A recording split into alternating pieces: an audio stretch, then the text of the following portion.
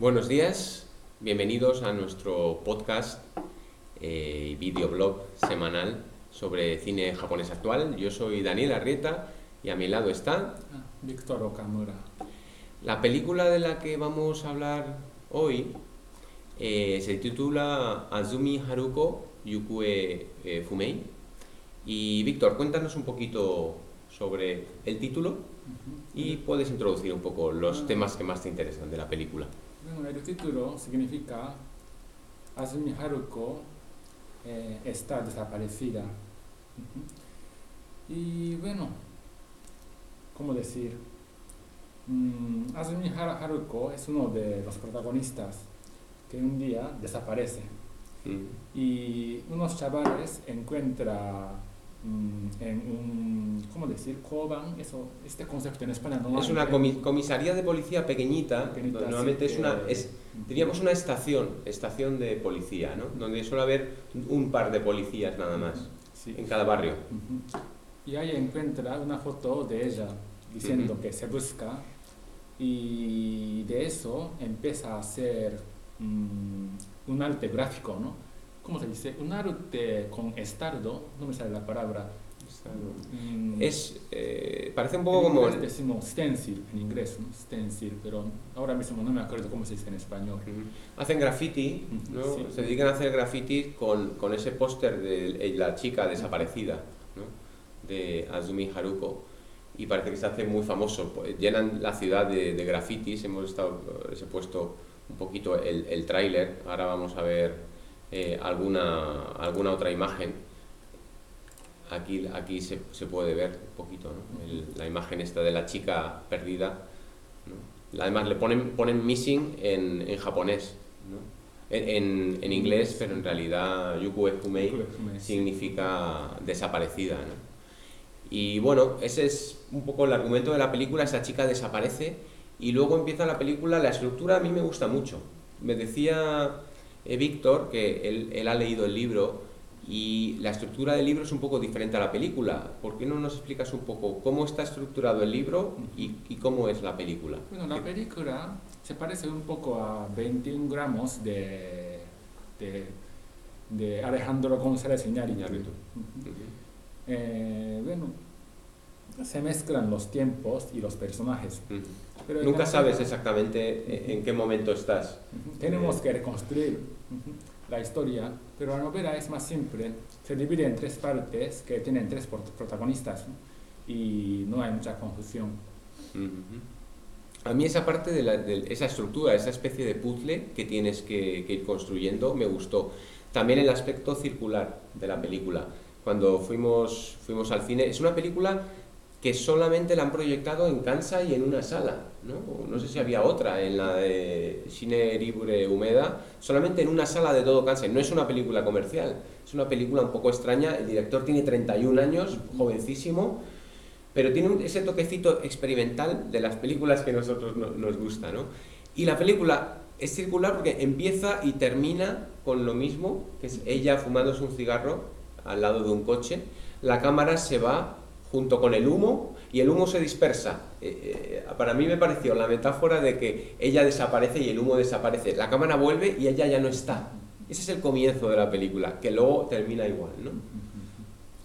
¿Qué te parece a ti el juego de, de la- con la estructura de los tiempos y, y las escenas? Bueno, me gusta, me gustó mucho, ¿no? Y además hay una escena donde los Josh Kosei, Ujú. las estudiantes de bachillerato, están viendo cine. Sí. Y eso me gusta mucho, ver en el cine, gente viendo cine. Ujú. Eso es, es muy, muy interesante. A ver, aquí no se ve muy bien en la imagen, pero es, es, es en, esta, a ver, en esta imagen las chicas corriendo, ¿no? Hay un grupo de, de chicas de instituto que se dedican a dar palizas en la ciudad a chicos, a, a hombres, hombres mayores o jóvenes o lo que hay, ¿no? Es como una especie de banda, como una especie de, de la naranja mecánica, pero de mujeres de instituto, de chicas de instituto, ¿no? Es una cosa, aparece mucho en películas japonesas, ¿no? Eh, Películas de un poco de gore, de ciencia ficción, como que las chicas jóvenes son fuertes, ¿no? Sí, sí, Y emplean la violencia. Y bueno, eh, ¿te acuerdas la película Kill Bill? De Tarantino. Sí. Eso se basa en una película japonesa Ujú. también. Y hay ese- esa historia de mujeres que, que luchan contra los hombres.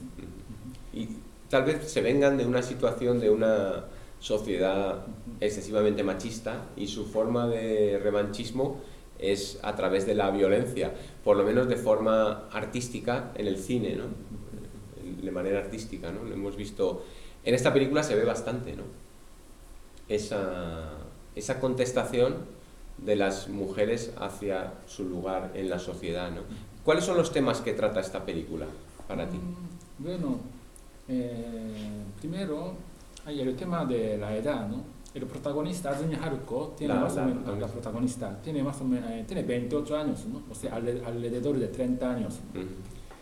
Y en la sociedad mm, hay un aire que dice que, que si tienes 30 años y si no llegas a tener un trabajo fijo, que ya tu vida ya es una mierda. Y también hay una chica de 20 años, ¿no? Que piensa que si sigue así, que no va a tener futuro, ¿no? Ujú. Y también hay esos, las mujeres de Yoshikose, de instituto, ¿no? que Ujú. tienen de 16 a 18 años, ¿no? que todavía piensan que su futuro está abierto, ¿no? Ujú. Pero que no tiene dónde irse, ¿no? porque vive en una zona muy, en una ciudad regional. Sí, se nota un poco esa sensación de Inaka, ¿no? de, de que no están en el centro de nada, de que no hay nadie por las calles, en algunos lugares está un poco medio abandonado. Y lo que dices de los 30 años, yo creo que más que el trabajo, eh, se refieren a casarse. Casarse Eh, también. Ella trabaja en una oficina con dos tíos mayores, un cuarentón y un tío de 60 años, y lo único que le dicen a ella, no, bueno, tranquila, tú todavía, como eres kawaii, todavía te puedes casar, estás cerca de los 30, arasa. ¿no? Los japoneses les gusta decirlo de arasa, around 30, arasa. Y entonces le dicen que todavía tiene oportunidades de encontrar novio y casarse porque es lo único que le queda en la vida, según estos dos ojisan, ¿no? Y, y, le- y además le aconsejan que vista de manera un poquito más femenina Sí, sí, sí. que se arregle un poco más porque ella va un poco desarreglada. Y es una cosa, una sensación, una cosa que, el tema que se repite continuamente, que si va a encontrar novio, que si se va a casar, luego ya encu- encuentra un supuesto novio, pero hay, un, hay problemas y ella le dice, si yo no quiero casarme, no hace falta que, que nos casemos, solamente quiero tener una relación y vivir contigo, ¿no? Esa obsesión de la sociedad japonesa hacia el matrimonio a cierta edad, ¿no? Y también era muy importante el tema de la ciudad regional, ¿no? Ujú. O sea, que la ciudad regional es un lugar donde no hay, no hay arte, ¿no? O sea, por ejemplo, en Tokio, Yokohama, Osaka, Sí. allí nacen culturas nuevas Ujú. y se divulgan, pero en las ciudades regionales no nace ninguna cultura nueva, ¿no? Sí. Y ahí es donde dos chicos ven el DVD de Banksy, ¿no? Eh, ¿Cómo se, se, titulaba? Exit through the Gift Shop, una película de eh, Banksy. Eh, ¿Reconoces, no? Banksy. Eh, No, es- no, Ba- Baxi. Banksy, sí. Ujú. Y no teniendo ninguna cultura, Ujú. ningún arte en su ciudad, empieza a garabatear, empieza a intentar hacer grafitis, a ¿no? hacer grafitis, ¿no? Y bueno, eso se veía mucho, ¿no? Que la encerradura de una ciudad regional, ¿no? Ujú. Al protagonista, a la protagonista al pr- principio de la película, la madre le, di- le dice que vaya a comprar papeles Ah. higiénicos, ¿no? Porque solo, solo queda tres cartones, ¿no? O sea, que, que solo queda 36 rollos, por, por eso que vaya a comprar papeles higiénicos y ahora mismo, y tiene que ir conduciendo, ¿no? A comprar eso, ¿no? Papel Y- higiénico. Sí, Es una una cosa... que si no tienes coche no puedes ir a ningún sitio. Y aunque tengas coche no puedes ir a muchos sitios. Sería que el equivalente tal vez a, a un lugar de extrarradio de, algún, de cualquier ciudad española o latinoamericana, pero bueno, mm, desde luego no parece de nivel bajo tampoco, pero simplemente que está un poco alejado Sí, de, sí, de todo. ¿no? Entonces estos chicos, eh, con ese cartel real de, de la desaparecida de, de Harumi, eh, A- Azumi Haruko, pues crean esta, este, un cartel artístico. ¿no? A ver si lo voy a colocar otra vez por aquí para que se vea. Crean un cartel artístico y con eso crean arte. Además tiene una pinta así de Andy Warhol, como de pop art. Con, esa, con eso crean un poco de arte y ese arte luego va a ser utilizado por un empresario para comercializarlo. Sí, sí, porque quiere sacar adelante eh, Yumelando, es como la tierra de los sueños, una especie de parque de atracciones o parque temático, y lo quieres, porque a- había caído en desuso, y lo quiere sacar adelante con estos carteles de desaparecida, de missing, para ponerlo de nuevo de moda, ¿no? Entonces el tema de la comercializa- comercialización del arte, de la cosificación, de la marketización ¿no? de- del arte también aparece en la película. De forma muy caótica, ¿no? Todos estos, los temas y las historias aparecen de forma muy caótica, ¿no? Como flashes, como flashazos. Igual que la- las chicas las chicas de instituto, ¿no? Las palizas que pegan a los, a los hombres, ¿no? Con un bate de béisbol y estilo naranja mecánica, auténticamente, ¿no? ¿A ti qué te sensación te producía esa- esas escenas? Ah, bueno, ¿cómo decir? No era tan, tan, tan violento, Violento. era un poco bastante pop, ¿no? Ujú. Pero, bueno, me, gust- me gustó mucho, mucho esas escenas, no siendo hombre. Me gustó mucho esa escena. Es todo lo contrario a, a la película con la que empezamos el podcast de Distraction Babies, que era- eran los hombres los que, mucho. los que daban violencia, ¿no? Aquí son las violencia. Y bueno, el título es muy simbólico, ¿no? Ujú. De Yukue Fume, eh, desaparecida, ¿no? A mí me hizo un poco recordar la palabra eh, la generación perdida, ¿no? Y perdida ma- quiere decir que perdido en el, cam- perdido en el camino, ¿no? Y, pero también puede ser que algo como desaparecido y tal, ¿no? Y mm, en esta película ya las chicas no tienen ninguna esperanza, ¿no? Están Ujú. desorientadas, perdidas en el camino y en la ciudad donde antes había mucho dinero con la burbuja, ahora ya no hay nada de dinero y no hay jóvenes y en parque de parque atrac- De atracciones. ¿no? atracciones intentan hacer como fiesta de arte, pero no viene ningún gato. El primer día vienen los, la gente que trabaja en el periódico y los alcaldes y los ayuntamientos, pero ya el segundo día no aparece nadie. todo desaparece, ¿no? Sí, da una sensación así pesimista. Casi todos los, los jóvenes que, que rondan la treintenta ahí son además compañeros, eran compañeros de instituto. Se encuentran uno trabajando en un convini, otro trabajando en una tienda, otro que no está trabajando, son furitas, no tienen trabajos fijos, tienen trabajos por horas, mal pagados. Sea, son como fracasados, ¿no? Las chicas que no han podido casarse. Y luego, incluso luego también hay gente de 20. Hay gente de 20 que no ha entrado en la universidad tampoco, simplemente pues algunos tampoco trabajan. Es una visión así, como una visión de, de- típica de película de extrarradio, lo que pasa es que no tampoco dan mala impresión, ¿no? Porque bueno, Japón es un país relativamente rico, ¿no? Y, pero al final tiene un poco de esperanza, ¿no? Y esto, leyendo la novela se, se nota más, pero, o sea, que dónde se había ido Azumi Haruko, ¿no? Y leyendo la, la novela se- eh, nos, eh, nos enteramos que se encontró con su amiga. Hay un- chica, la- el personaje de la chica que estuvo casada y se divorció Sí, y, sí, y sí, tuvo una hija. se encontró con esa chica y decidieron eh, criar juntos a, a la hija, ¿no? Y al final, otra de las protagonistas que tiene Mm. 20 años, años Sí. se junta con ellos y en coche se van. Y mientras tanto, los, los estudiantes, los de instituto, están viendo una película donde una, una animación donde las chicas asesinan a los hombres. ¿no? A- Como dibujos y, animados. y ¿no? salen corriendo del cine, súper contentos, ¿no? Esa escena era súper bonita, ¿no? Sí, y la policía les está esperando, incluso las apunta con, la, con las pistolas. Y ellas no llevan pistola, pero simulan que están con la mano disparando y, y parece que tienen efecto en los policías. Es una sensación de irrealidad continua, ¿no? Sí, sí. Y salen, salen todos corriendo, ¿no? Sí. Y luego, el- lo hablábamos a la salida, entre las chicas que salen de instituto, se cuela la imagen de algunas abuelas, tía, sí. mayores, de, de 60 años.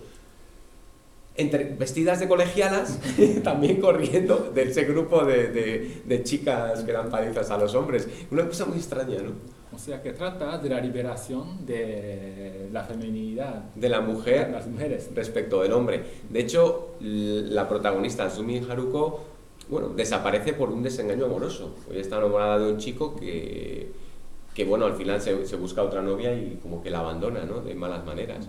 Y la chica de 20 años también, es otra chica que también está enamorada de otro chaval, compañero suyo, suyo del, del instituto, igual que el, pues el chico pasa un poco de ella, ¿no? Y ella anda pues de chico en chico y está, está muy depresiva. Entonces, como tú decías, se encuentran con esta otra chica que ya está de vuelta de todo. Se casó, probó la vida burguesa japonesa típica, se casó a los 25, 26 años, tuvo una hija, pero se divorció. Ella lo cuenta en, en, una boda en la que coinciden, en la que una chica también muy jovencita se casa con un abuelo de 65, 70. Eh, son escenas bastante graciosas, ¿no? un poco grotescas.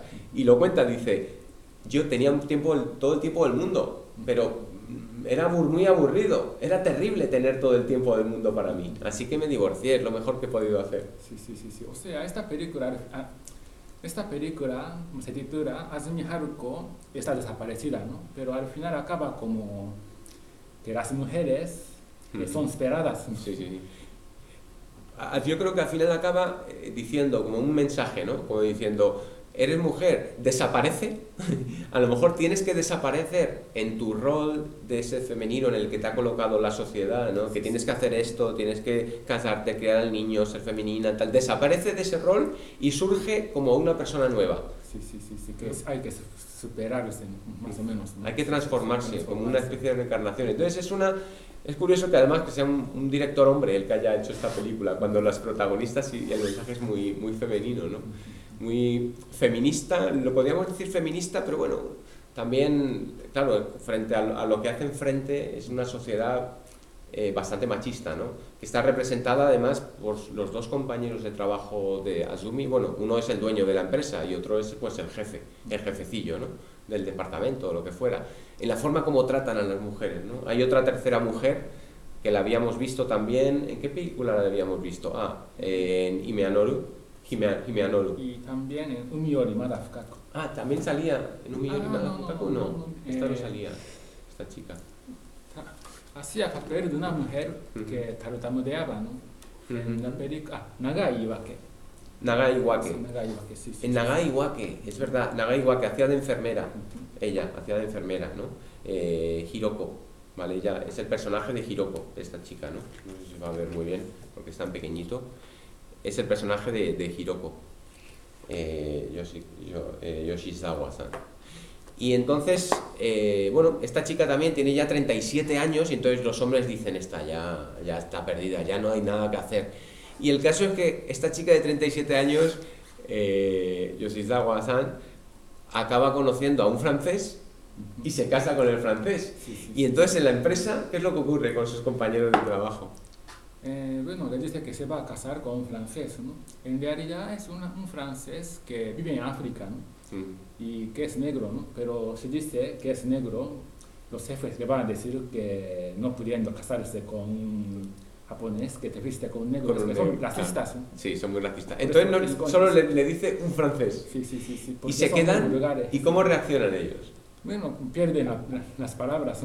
Se quedan secos como diciendo, joder, o sea que esta mujer que ya tiene casi 40, ya no es Arasá, es mucho peor, Arafó. Ara- Aram Fori, que dice Arafó, y ha podido casarse con un, claro, un francés tiene implicaciones aquí en Japón como, no sé, la cultura, ¿no? Alguien eh, europeo, ¿no? Sibarita. Es una película interesante, ¿no? Me Esta- gusta mucho. te deja un buen sabor de boca y bueno, y acaba al final también teniendo, teniendo un final feliz, que yo creo que también nos merecemos de vez en cuando un final feliz, ¿no? ¿Qué te parece si terminamos esta, la grabación de hoy? Sí, sí. Hasta la siguiente. Sí, hasta la Amigos. siguiente. Hasta luego. Adiós.